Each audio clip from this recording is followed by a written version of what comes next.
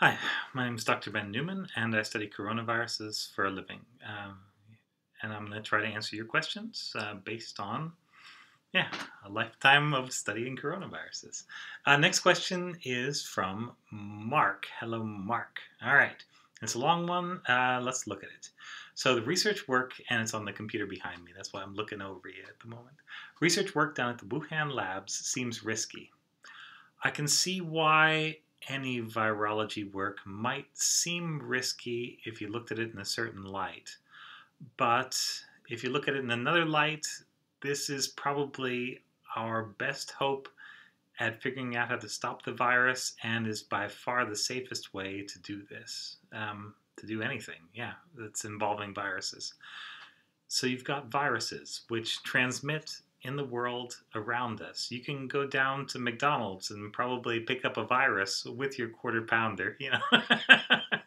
Just because if there are 30 or 40 people in there right now and it's in the US, chances are one of those has the virus. And uh, yeah, spend long enough, near enough, breathe in enough, take your mask off and adjust it enough, and sure, that virus can be yours. So there are terrible experiments like this that happen in the world and you're not allowed to do anything like that in a laboratory. People are really afraid about what goes on in a laboratory because I think they're not in there. And they're they're at McDonald's, they're looking around, they're saying, "Well, yeah, uh, maybe that guy, you know, coughing over in the corner is really sick." But um, yeah, I it's easier to process that risk because it's a familiar place and you're familiar with what's going on there. Um, I could take you through the precautions that have to be taken. I've been writing up lists of standard operating procedures. Oh my goodness, yeah, have I? Um, and essentially, yeah, to have the sort of contact that you could have at McDonald's for the price of a cheeseburger. And I don't want to beat up McDonald's. I like McDonald's. yeah, so whatever. Burger King, then. Fine. They're actually okay too. Um, to do that sort of thing in a laboratory, you would have to have a thing called a powered air purifying respirator, which is like a gigantic bike helmet that goes down here under your chin and is filtering out with these really good HEPA filters all the air that comes in and essentially creating an airproof um, little shield around your face, like a little uh, little bubble that you're in. And it's got like a power cord that you can put down in your pocket. And so that's going to take care of what you're breathing in. Now you've also got to watch out for what could get on you. Because if you splash some on you and then you go into the changing room or whatever and take off your little uh, mechanical bike helmet, yeah, there's going to be uh, a risk of exposure exposure, and you cannot have that. So you're going to have um, usually some kind of secondary containment. So it's going to be something like scrubs or maybe scrubs and then, well, it wouldn't just be scrubs. It'd be like scrubs and a coat, some sort of lab coat that is um, waterproof essentially. And um, yeah, oftentimes, like when we were working with lots of SARS coronavirus 1, we would have secondary sleeves that would go on over our regular sleeves just in case it never happened, but in case you did get something on your sleeve, you could rip that thing off. You could put those things in a ball, dunk them into the uh, bleach tank that you have right there next to you in the hood, and yeah, you are then safe and you're okay. You normally wear two pairs of gloves, like a pair of gloves inside and then another pair of gloves over it, so that if you get anything on the outer pair of gloves, you can pull that off in a hurry and bleach or ethanol the heck out of it and boom, discard, get rid of it. Because anytime that there's even a chance that anything might be going wrong, yeah, it is your job to deal with it, kill that virus. Yeah, that is uh, basically the first rule. You are surrounded in one of these places by really strong disinfectants. Things like Virkon, things like uh, you'll make up a fresh 10% bleach solution every time. We used to have a giant tank of formaldehyde, literal tank of literal formaldehyde. It was like a, I don't know, maybe a 25 gallon tank. And when we wanted to take something out, we had to, yes, we had a poking stick, and you'd, you'd sit your plates or whatever in there, fill them all up nice and good. You don't want any air pockets uh, and then sort of stir them around with the stick in this soup and leave them there overnight uh, in formaldehyde. And yeah, that kills any coronavirus and any cell and anything. Yeah, lucky we didn't kill ourselves. and all category three labs are like this. Um, at category two, you don't have to take quite that crazy amount of precautions. Um, uh, category four, you have to take far more, yeah, precautions. Just you know, they're not ridiculous precautions because each one of these has a very definite reason why it's there. But oh my gosh, yeah, contrast that with the amount of personal protective equipment that you have to wear in order to order a pizza at Domino's, yeah, or Pizza Hut, yeah. Or the amount of personal protective equipment that it takes to place your coffee order and then sit there and drink it, you know, uh, uh, at an outside table with a bunch of people at Starbucks, yeah. The answer is uh, none, or maybe a mask, but you're allowed to take the mask off. So, yeah, why is it there? Right. So, all right. So that's that's the first bit, and this is uh, this is going to be longer than you want, but um, I think it's worth going through. Um, let's see. So then the second thing. So uh, um, your question, which is a good one, which is one that's it's coming up uh, all over the place, and you just asked it very directly, and so I like that. Thank you. Um, it's talking about work at UNC. So this is Ralph Barrick's lab, and uh, yeah, he's got a lot of funding. Yeah, for coronavirus work. Um, I don't know. He's kind of uh, notoriously hard to work with uh, in that he really does not like to share stuff, but he does some great things there too. And honestly, he's a net big positive, I think, uh, for the field. Um, uh, and uh, Wuhan Institute of Virology comes up in there. Yeah, and everybody, ooh, everybody furrows their brows when they hear that. but it's fine. These are both very large, well-funded, yeah, um, places where Category 3 level work can be done, where it's approved uh, to be done and is done. And there's a range of procedures. They're a little different in every country. So you know, what you would do in one country, you may do something a little more stringent or a little less stringent in another country, but it's going to be in the same ballpark. So, yeah, these these are all definitely in the same category, and I would feel reasonable um, working at any of them. I think. So the talk is that they did these things called gain of function experiments, which, when you hear about it and you're not in virology, you say, "Whoa, gain of function! That seems like." You know, putting the putting the scorpion tail onto a gun, and now it's like a scorpion gun or something, you know, or a chainsaw gun, like in that one dumb video game.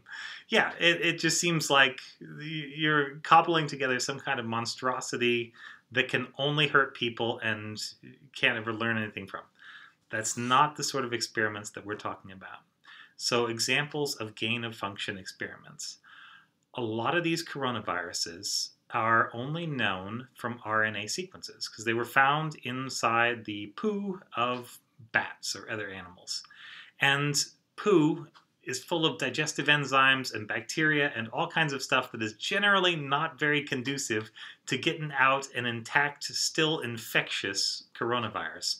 But you can often find kind of like, you know, it's probably got all the, the spikes shaved off, but you, you can find something like the core of a coronavirus, and you can open it and you can read out what the RNA says, and that tells you what the virus was. Yeah, it's now no longer there.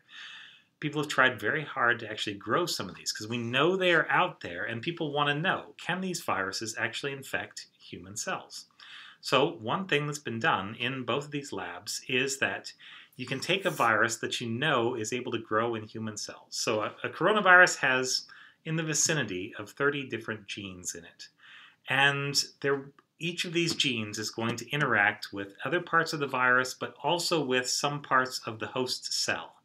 Um, and so the ones that are good at growing in humans will need to be able to interface with different parts that would be found inside of a human cell and the ones that are great in chickens or pangolins or bats or whatever have to be just as good at interacting with the bat, pangolin, chicken, frog, whatever version of those.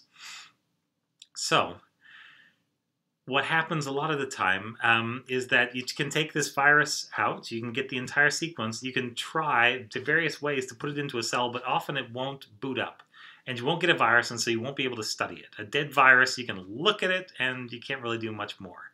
You want to be able to try to grow this thing and make it work. So what people have done sometimes is to make chimeras, where they'll take the whole virus from one thing that we know grows in human cells, and we will swap out one little piece um, with a different one. and we'll take from the dead virus a little piece and put it in there, and then we can see, okay, on the background of a functional normal virus, what's it do if we put in the spike of this one? This will tell us if that other coronavirus probably could have got into a human cell. Won't tell you if it could go through the entire process of replicating itself, but it's getting in is the first start, yeah. Um, and so experiments like that are the only way that we know that there are I don't know, something like 25% of the SARS coronavirus like viruses out there that are actually able to enter human cells. That's something that we couldn't have known if we were trying to grow the viruses because when you find the viruses the first time, they're dead and you can't do anything with them.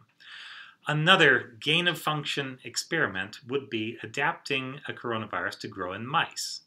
And so if we want to study SARS coronavirus in mice, that's great, but SARS coronavirus doesn't really infect mice. so you have to either change the genetics of the mouse, like we talked about uh, in one, I think, uh, last week, or you can change the genetics of the virus. Um, and um, for a long time, we didn't know how to change those genetics, so you would just try and put the, the virus onto mouse cells or like a mix of mouse and human cells until the virus changed by itself enough that it could actually get into the mouse cells.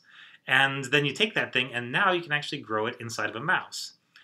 Now, when you adapt the virus to grow in a mouse, it becomes much less able to grow inside human cells. It's kind of a one or the other thing because the protein it's trying to grab is different on a mouse, just a different shape than the one on a human. They're close, but not quite the same, and yeah, it takes a different kind of spike to go into one. So it's gain of function in the sense that we have a virus that wasn't able to grow in mice, but it now is. But it's also loss of function in that this virus now poses no real threat in regular cells. You still have to work with it, though, at the same level of biosafety as the parent virus. And in some cases, you would have to work with it at a higher level of biosafety as the parent virus because there are unknowns. So yeah, gain of function experiments are not what people think they are. And it's never as uh, sort of black and white, uh, easy to define as that. Um, I don't know of anybody who has gone in and tried to deliberately make a virus more dangerous. Um, yeah, that's just not something that anybody would do because you're you risk you you work.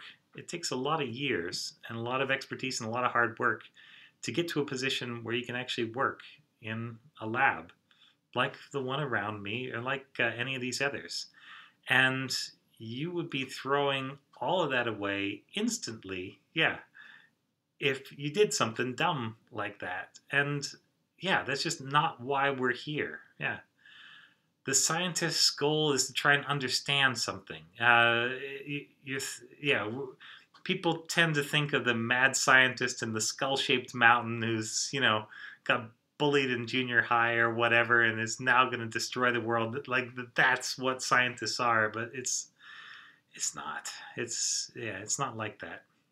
Um, so yeah, gain of function experiments aren't what you think.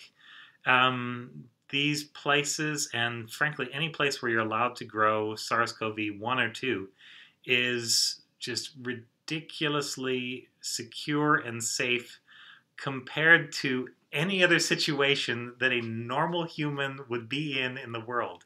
You always have more protective equipment, more layers. And it's not just about protecting you. It's a there are layers built in there about how are you going to protect so that none of this goes down the drain, so that none of this gets into a mouse that then breeds with a wild mouse population, and then boom, you got mouse SARS running around outside. You've got to have these things approved and scrutinized, usually every year, with random visits from safety goons. Yeah. And honestly, that's for the best. That is how seriously we take this in the virology community. It's um, takes a ton of money to even be in a position where you can start to learn anything meaningful. And I think this is the most important stuff that we can do with the virus. We can try to understand what it is and how it works. And we do that by growing it Um, yeah, any experiment where you're trying to um, where you're trying to show a new antiviral works. As part of that experiment, you're going to take a little bit of virus and turn it into a lot of virus, and just hope that the drug can stop it. You know, in some of those uh, some of the little flasks where you try it. But you could define that as a virus amplification experiment, even though that is definitely not the purpose. Um, I think this is just uh, yeah people that aren't very close to the situation, armchair quarterback, and essentially um, stuff that yeah just it's part of a different world that people don't often get to see. And so I don't know. This has been a little bit long, but I, have tried to bring you a little bit inside this world, uh, at least as far as we can in the office here, um, so you can see kind of what it is. Um, but uh, yeah, that's why I'm not particularly concerned and why I think, in general, news stories or uh, whatever, social media items that talk about uh, this sort of stuff, they usually, they're basically repeating third and fourth hand rumors where nobody in the entire telephone game really knew what they were talking about. That's the way it looks, uh, at least as far as I can tell. So I don't know. I'm hoping that helped. Uh, yeah. Um, and thanks. It's actually a very good question, and I appreciate you bringing it up. This has been Ask Dr. Ben.